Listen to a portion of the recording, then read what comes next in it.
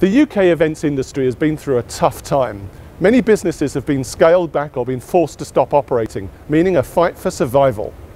However, event professionals are also renowned for their creativity and resourcefulness. In this series of videos, I shall be meeting some of them and hearing their stories. Hopefully their experiences will comfort and inspire others.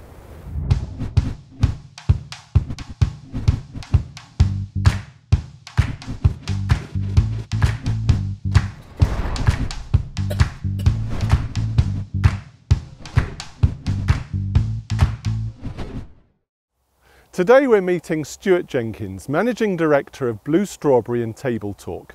These two event catering brands have been established over 25 years and are renowned for their groundbreaking cuisine. They work with a host of talented chefs, including a few famous ones, to create food for small parties right up to large corporate galas. My name is Stuart Jenkins. I'm the Managing Director of Blue Strawberry Group and we have been operating now in London for the last 30 or so years uh, across a number of different brands. Uh, we have Blue Strawberry, which is an event catering brand. We have Table Talk, which is an event planning and project management business. We also have Flourish, uh, which is our B&I business. So we uh, look after all our clients in their offices and workplaces, which is a new, new area to our business. Uh, and we're imminently embarking on a food subscription service that's delivered to your to your home address. Can you just tell me about a little bit about the genesis and how you came to be involved? Both businesses, both Table Talk and Blue Strawberry, were founded by two of my co-directors, Molly Ronan and Jojo Brown. And now Molly founded Blue Strawberry, uh, the name came from a friend of hers in South Africa who's no longer using the brand, and uh, she liked the sound of it, picked that up, and, and, ran with it. And had been operating in London prior to that in different guises with uh, different entities. And very similar story for Jojo, uh, Jojo Browner with Table Talk, doing lots of parties uh, for friends and family. Uh, Table Talk started as a catering business and has developed into an exclusive party provider. So we do everything from the initial brief right through to delivery and uh, working with all the various partners uh, within the industry. So uh, very well established and it's not just UK based, we do international work there as well. Our venue listing uh, is over 70. We um, pre-pandemic, we we were uh, we were around 70 staff across all of the brands, which was great. I mean that's doubled over the last um, two years. Uh, and we were turning close to 10 million in revenues um, across all our brands. Um, so we'd seen significant growth up to this point. So um, obviously we're devastated with the pandemic, the same as everybody else is. Um, but look to the future with some level of optimism. Uh, but we know it's going to be a long, long path. When did you first realise that COVID would have an impact on your business? At the start of the year, really. I think rumblings were coming out of China and uh, I remember the point in our management meeting where we actually sat down and, and had it as a as an agenda point to discuss about how we would react. Um, probably like many businesses, we never had um, the the understanding that it was going to have the impact that it's had. Uh, we underplayed it. We thought it would might be weeks, possibly months, no more than three months. Then we'd be out the other side of it. Um, financial forecasting obviously is a big part of, of any business. And, um, you know, I look back now at my forecasts back in February and, you know, clearly they're a, a country mile off. So um, it had a massive impact on us. And, and one of the hardest things with dealing with the COVID has been the shifting pattern of those future forecasts to the point where you're almost you almost stopped because it was it was changing daily and it was it was almost impossible to to put any figures to what the future might bring. What did you do initially? What were the measures that you took? The COVID measures initially were all around safeguarding. So, what changes and process do we do? Safeguarding the team, clients, how do we need to adapt, what needs to change? So, we built those in quite quickly. Um, the key element then was how significant the impact that COVID was going to have on us as a business mm. and as an industry.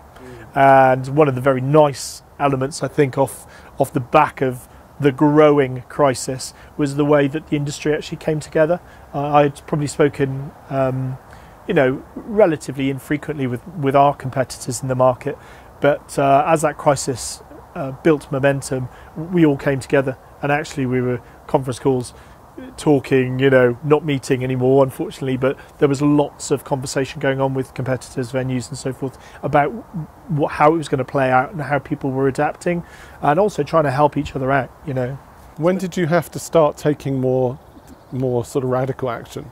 The direct action came in came in March, and um, we then really started to go into the detail of of what this could um, move into and I think this, the first look, lockdown, uh, the commercial impact on us as a business, uh, obviously, revenue stopped. You know, it was it was the worst case scenario, and uh, and everybody was just trying to protect their team. You know, that was the key objective, and all of it was, yeah, we understand the business is stopped. How can we as a business now protect our employees, our talent, our workforce, people who had absolutely invested their time and efforts in in the company and the brands, um, and how could we protect them? And that was definitely the hardest period because there became, it came a realization fairly early on that we weren't going to be able to do it. Uh, and that's definitely the hardest thing I've ever had to do. So, you know, we had to essentially lose two thirds of our workforce to be able to retain the, the brand in operation you know, we had to lose a lot of people. A lot of people who've been with us for a long time had really invested their time and efforts in the business. The, the redundancies for me were def- definitely the hardest and most stressful thing that I've had to do. Um, you know, obviously you've got director obligations for the good of the business, your corporate responsibility to ensure that the financial workings of the business are in good order and that does mean that you have to reduce your, your overhead in these circumstances and that and that was incredibly difficult. Made even more difficult because it was all done online via zoom or or, uh, or, or, or, virtual meetings which is a horrible horrible uh, part to, to do it. Uh, you know it's a, it's a horrible vehicle to enable us to, to lose people from the business you know, in the events industry where everything is physical, everything is like, you know, in person, it's quite a difficult business to like adapt. But I wondered if you could just tell us, you know, what avenues have you pursued? Okay, so our survival strategy to get some sort of revenues coming into the business really cast a net quite wide. Uh, and we looked at everything from, you know, the kind of Deliveroo, home delivery options, the cooking school deliveries, the hampers, uh, you know the kind of uh, home delivery birthday cakes you know. So one of the key innovations that's been driven by covid is is the development of the flourish app which allows you then to to dine to desk. So um, it's along the same lines of uh, as a as a kind of takeaway delivery very covid secure and it's essentially it's managed by the client themselves so we work very closely with the client we'll do uh, all the team are tested twice a week, for example, so that we had that um, safeguarding right from the get go. And, um, and it allowed the individuals then to reduce the movement around the office, remove the touch points, uh, and increase the, uh, the service value to, to the individual workforce who, let's be fair, were, were coming into the office when everybody else was working from home. Uh, the second innovation is the, the home delivery of, of Nutrition Kitchen, which is uh, something, a project we've been working on over the last uh, six months or so, which uh, is coming to fruition now. And that's, uh, you know, perfect time now. We're in the first quarter, everybody's locked down, thinking about health, fitness, well being, both physical and mental. And a key aspect of that is diet. so to have that all worked out for you, um, you know, created by amazing chefs and then delivered to your home. Uh, it's just a really, really nice product, and it's certainly something that we see uh, a growing market for in London. And it will really complement actually our Flourish brands and the rest of the business model for the long term future, not just during lockdown. How have you as a business got on board with technology? I mean, you know, obviously you've you've recruited experts, but you still have to then communicate your idea. And how's that been? Uh, it's very difficult for um, somebody like myself who who is okay with tech but not particularly tech savvy to really have a view of what I want the end uh, result to look like. Um, uh, but I've worked with some fantastic partners who've been able to develop that for us. So I know what I want the uh, the, the, the, end user to experience. I, I, know the, the level of service we want to provide, and it's just making sure that tech actually makes that more efficient, uh, more user friendly, and ultimately a fit for purpose adaptation online for our services uh, to the business.